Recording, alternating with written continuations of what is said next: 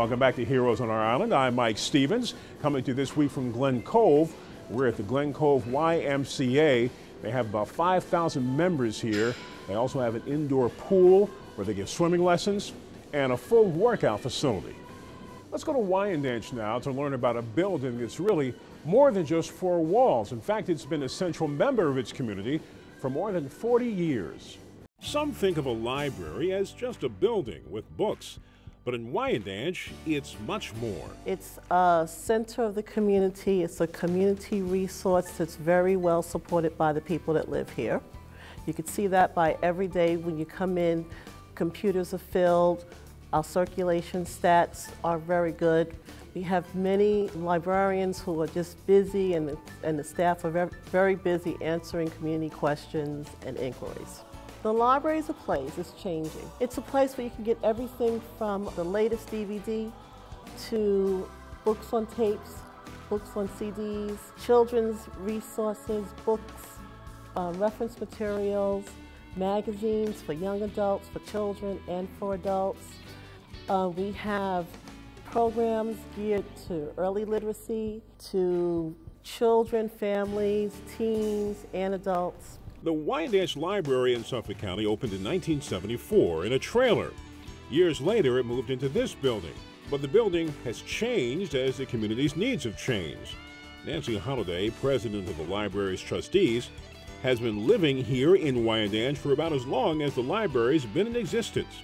The library is dedicated to serving the educational, cultural, and intellectual needs of the Wyandanch community. Holliday, the other trustees and staff take pride in meeting the community's needs. They have a notary, organize trips, and put on programs and plays in the building. We have special events that we hold here. Just last month for Women's History Month, we held a special program that was in honor of Dr. Jones, who's the Assistant Superintendent of the Wyandanch Public Schools. We have programs like for celebrating, like we had Black History Month, and quite, every week we have some kind of a program. We might have a keynote speaker, and then after that we have local programs. We might get kids from the high school. They come and they do their little dance and do their little skit and things like that. The parents come along and everybody they seem to enjoy themselves. We offer uh, GED classes and ESL classes for um, those who are um, who need to get that extra help to get back out there in the um, job market and so forth.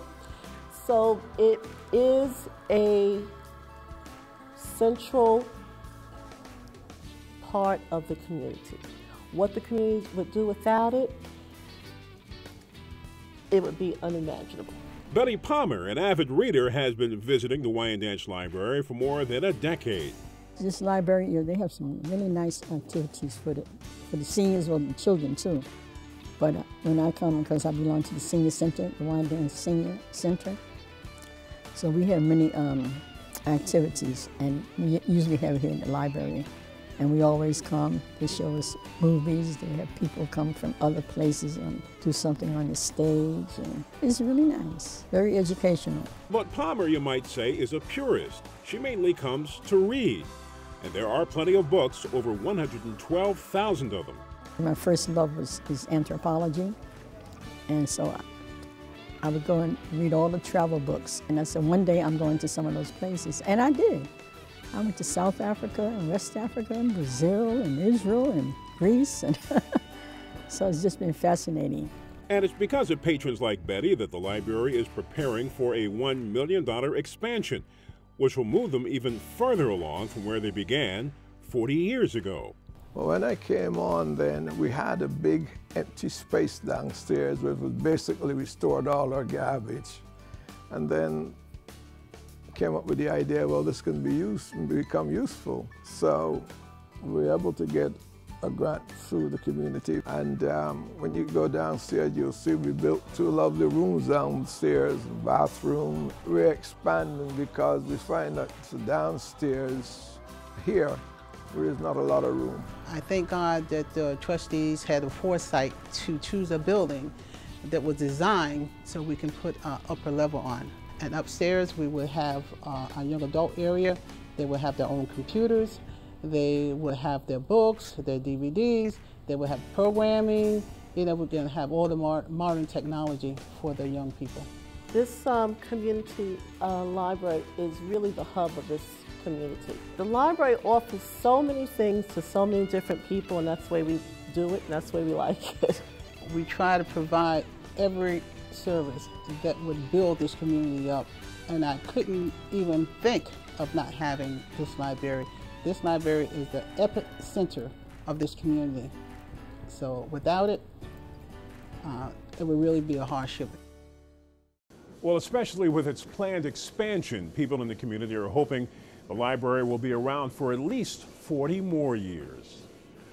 Well, after the break, we're going to tell you how to contact us to let us know about a hero you think we should know about, so please stay with us.